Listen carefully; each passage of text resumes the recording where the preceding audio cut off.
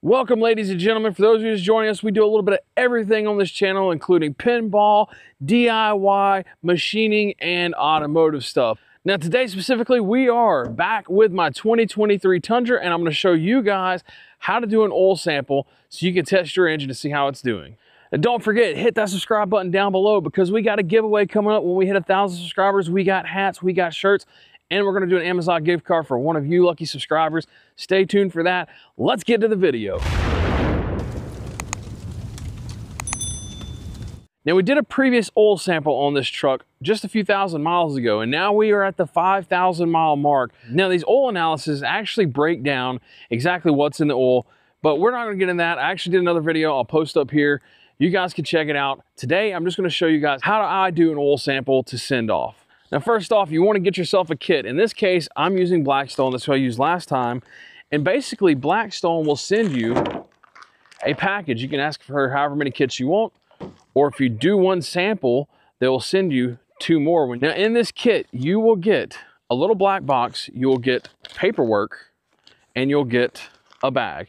And basically, you're gonna go through and fill out this paper on the front and back giving all the info of your truck, how many miles are on the oil currently, how many miles are on the truck currently, or whatever vehicle you're doing, doesn't have to be a truck. You will get a little white container like this, a oil absorption mat, and you'll get a plastic baggie that all fit inside this little black box here, which also fit inside the bag that you're gonna ship off. Now there are two primary ways of getting your oil sample. You can either drain your oil and about halfway through, grab a sample, or you can hit up your local Harbor Freight and pick up one of these. This is nothing more than a cheap vacuum pump. Now, you will need to go buy you some more tube here. And in this case, this is nothing more than a quarter inch ice maker line. And you can pick it up at Home Depot, Lowe's. You can buy a whole roll for like five or six bucks, I think 25 foot, way more than you need. But your typical kit from the Harbor Freight will include this short tube with a connector here that fits this quarter inch tube. They will give you a quarter inch tube, but it isn't entirely too short for most vehicles.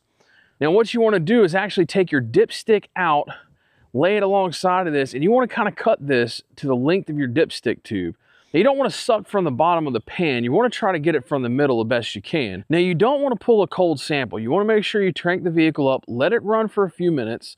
You want to get that oil circulating through there. All those heavy particles will fall down the bottom and sit overnight. So you want to get some circulation through the motor, get some heat in the oil a little bit, let it circulate. Make sure all those particles that are in the oil, if you have any, get circulating and flowing through it. So after you let your vehicle run for a few minutes, you're going to take your cheap Harbor Freight pump. Now, I'm going to tell you, this pump, it's cheap, okay? It, it doesn't hold a vacuum very well. So what you're going to do is you're actually going to put it in, suck it up through there, pull it out, turn the hose up because it will leak a little bit. But I mean, you're talking like a $10 pump from Harbor Freight.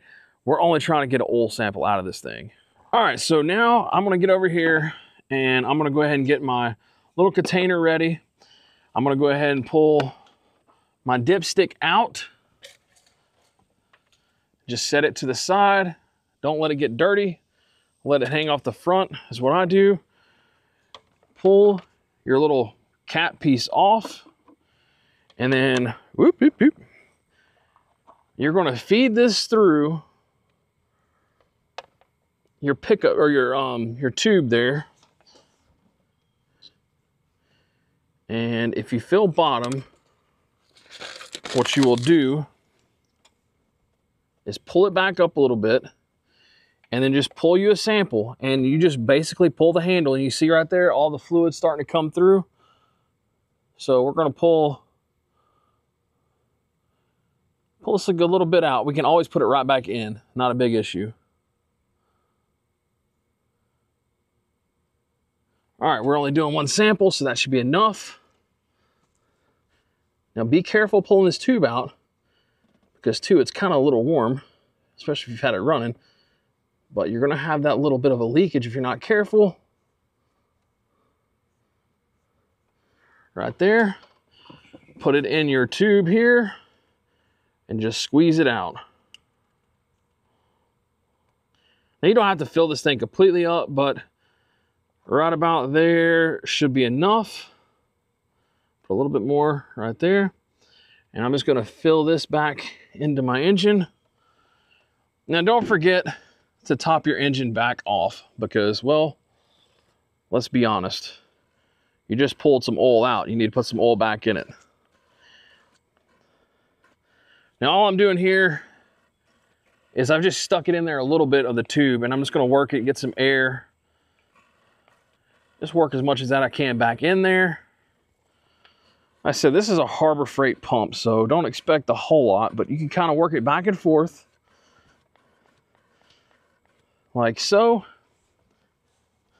Pull your tube back out and cap it off. Now, once you've gotten your sample, go ahead and put your dipstick back in and recheck your oil level. Make sure to add, if you need to, um, unless you overfill it, you probably have to add a little bit. It's not a huge sample you're taking out, but you don't want to keep taking these things out and not adding to it. But all right, so here's your sample. Put your top on it. Well, what you're going to do next is you're going to take the mat that it came with. You're going to wrap this baby up in it.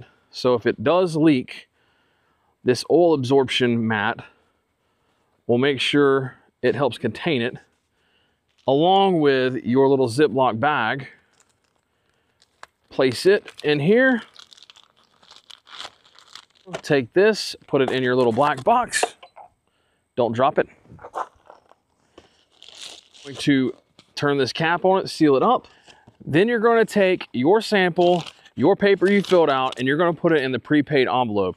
So Blackstone charges $35 a sample. And if you want to add the TBN to it, that's another $10. And for this setup here that we're going to send off, we're actually going to do the TBN because I have just hit roughly 5,000 miles on this oil change. And we want to see how much life is left in this oil because we know Toyota is very Toyota's bad about saying going 10,000 miles. Let's see how much of it is actually still good. So to do that, we're gonna do the TBN test plus another oil analysis. That way we can find out exactly uh, what has happened over these last few thousand miles. And then we're gonna do another one again right before the 10,000 miles. So stay tuned. We're gonna hit that subscribe button down below. We've got some giveaways coming up when we hit the thousand mark. Don't forget that. And uh, stay tuned. We're gonna get these oil samples set off and see what happens. We'll catch you next time.